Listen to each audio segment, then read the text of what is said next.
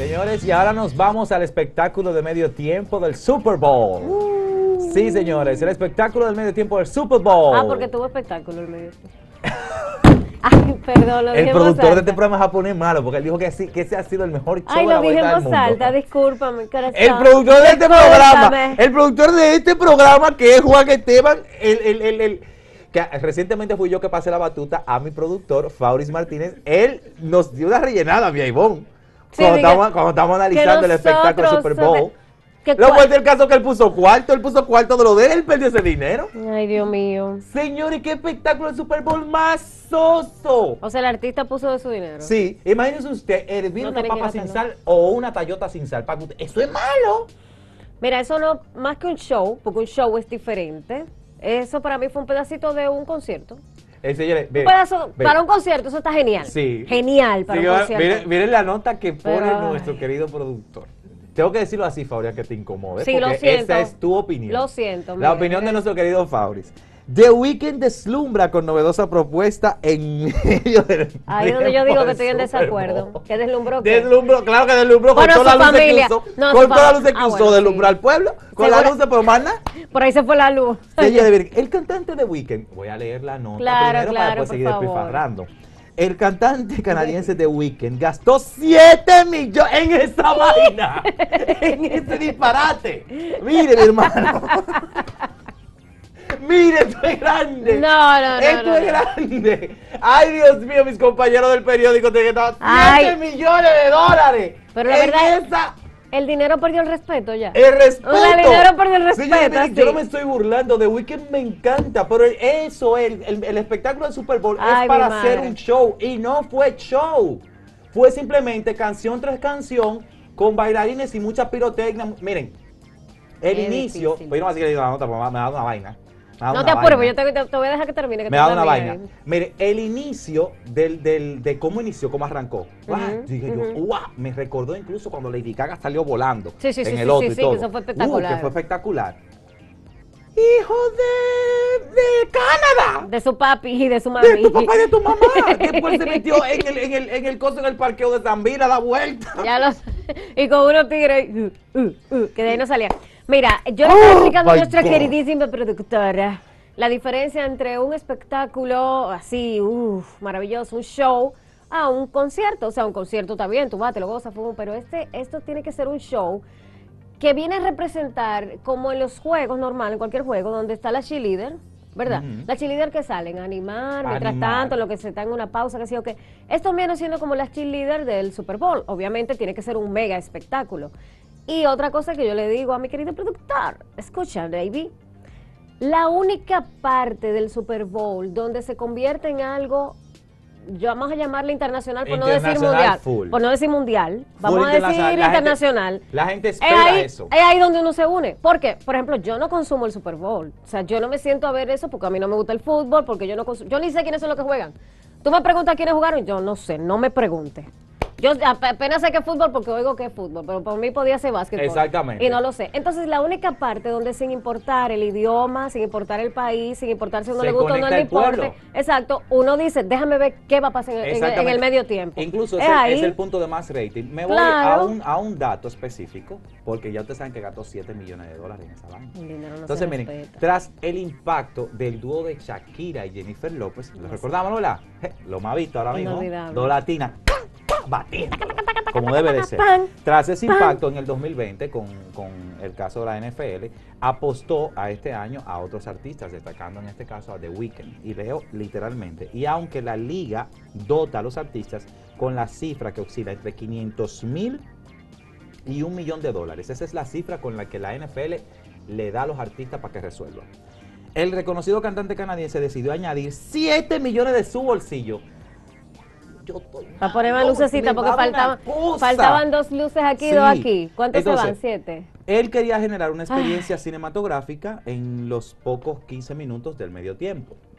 Pues señora, llévase a usted. Ah, porque pasaron 15, yo lo Sí. sentí como 5. Uno de los famosos que comentó y con un mensaje dejó mucho de que desear fue, señores, Maluma. Maluma le puso ¿Qué dijo? muy duro, pero faltó Hawaii Remix. Que no es mentira, total, si le hubiese Mira. puesto a Maluma queda mejor.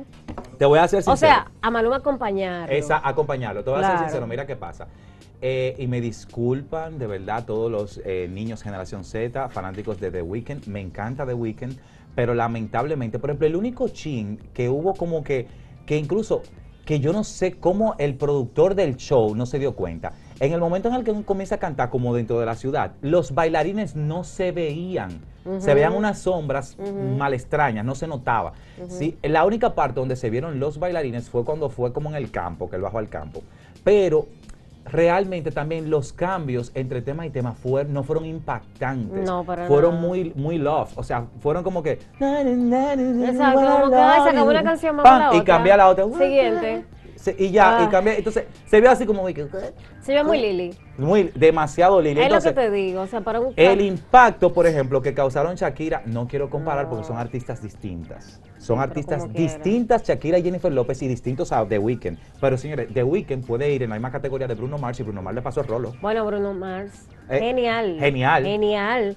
Que se lo estaba diciendo también. Lady Gaga por igual. O sea, eh, eh, Beyoncé por igual. O sea, Katy Perry. Katy Perry, Katy Perry, que salió con su león gigantesco. O sea, señores, de corazón, yo siento que él No, le pasó no. lo que decimos aquí en Dominicana. Si lo, re- si lo digo mal, ya ustedes saben que, que no me lo sé muy bien. Tanto acotejó al diablo al hijo que le pichó un. Pero rayos. Señores, Como no me la sé, no te lo puedo tanto reír. cuarto que Lo tú invirtió para morir. Señores, tanto nadar para morir en la Va, orilla. Ese sí me lo sé. Señores, señores, yo me sentía Qué hasta mal. Sí, Marcelo hubiese hecho mejor show. Ay, ahí lo dijo, piel morena. Ay, piel morena, tú te imaginándolo todo. No me queda más Digo, ahí, perder luego. ¿no? Y le canta en inglés y todo. Pero bueno, señores, Ay. realmente el show de The Weeknd, si usted tiene una opinión diferente a la de nosotros en este video, que lo voy a poner así mismo en, el- Claro. en- en- en la cuenta de, de SPK Espectáculos, usted puede dejar su opinión. se respeta, se respeta. A mí no me gustó el show. El artista me encanta, pero para el nivel de ese artista, uno esperaba un show. Señores, no salió invitado tampoco. Nada. Porque por lo menos ayuda. Gata, sie- gata 7 millones, dale 100 mil dólares a, una- a una Claro. gente de esa, invítala. Claro. Oye, ¿tú te imaginas que ese, mu- que ese muchacho hubiese salido ahí, que salga Bad Bunny? Pero se vamos, va vamos a quitar que Bad Bunny porque entonces No, vamos a salió, quitar Bad Bunny. Bad Bunny salió el otro año. Sí, vamos a quitar Bad Bunny. Pero qué sé yo, el mismo Maluma, cualquier gente de esa. No, ni siquiera, no te vayas latino, vete allá mismo. O sea, que, que, que él sacara a Billie Eilish, por ejemplo. Sí, o que, o que sí, llegara. muy buena. exactamente. Muy buena, claro. O que llegara de repente que se le da a Ariana Grande. Vamos a ponerte, vamos a conectarte, vamos a conectar con el grupo de ahora. O que saliera. Selena Gómez o algo así, no sé, whatever. Claro, verdad. Eh, vamos a buscarte un artista. Porque dame un chin. Sí. O sea, que el que sale nada y más con que, un él, chin. y que él no buscara, por ejemplo, artistas de la vieja escuela, que no fuera de que Beyoncé, que sé cuánto, no, no, no, no, sino que buscara nueva escuela, así que, que, él, que él subiera y se, y se empatara con, ya yo te dije ahí, Billie Eilish, que fuera Beyoncé, que fuera Dualipa. Claro. Lo hubiese sabido que de un momento, ¡pam! rompes, que Es verdad, es de una vez, pero barbarazo, 7 millones para tú brillar solo, mira, por eso. para, para pana, brillar, brillar y no brillaron, porque Es otra cosa. quedó brillando. Nada más hubo baile, eso, tu- eso tuvo también, eh, es muy machista. No me varones. No me da varones.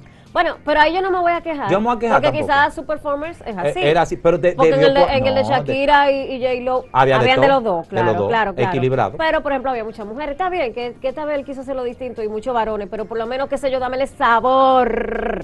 Tome estos varones a bastirlo. Exactamente, y así como batiendo, lo están haciendo señas, así que debemos rolo. Ya pasamos Ah. rolo a de weekend, entonces ahora pasamos, señores, a que los teatros de la República Dominicana ya abrirán sus puertas así. Sean bienvenidos. Se abre el telón. teatro.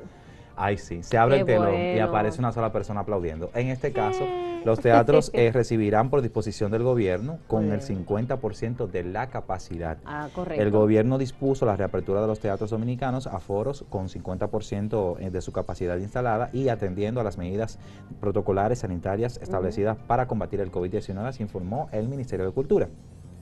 Respecto a las medidas sanitarias establecidas, Salud Pública eh, dice, nos alegra comunicarles que los teatros están abiertos, así indicó Cultura en las redes sociales. Bien. El uso de mascarilla es obligatorio y se debe mantener una distancia de dos metros entre personas. Es imposible seguir el protocolo de salud para cuidar a nuestros artistas y a ustedes, nuestro público. Así expresó el Ministerio de Cultura.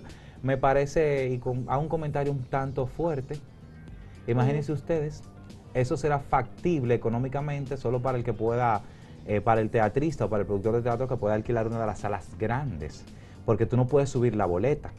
Imagínese usted que eh, eh, la, la Vilés Blonda, que son eh, 300, 400 butacas y que tú tengas nada más que, que vender 200 y no puedes vender la boleta más cara. No, no, no, Entonces no, las no. producciones son bien costosas. Entonces eso quiere decir que hay que pagarle la mitad al, al actor y hay que pagarle la mitad a todo el mundo, a todo el luminotécnico y demás.